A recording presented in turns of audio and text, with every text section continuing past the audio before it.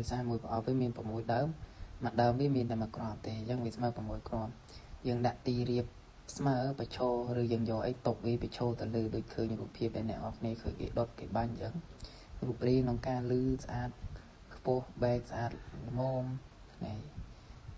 ហើយស្រួលប្រើទេប្រភេទនេះអត់មានពិបាកទេកេះដល់កេះដុតដល់ចេញទៅបាន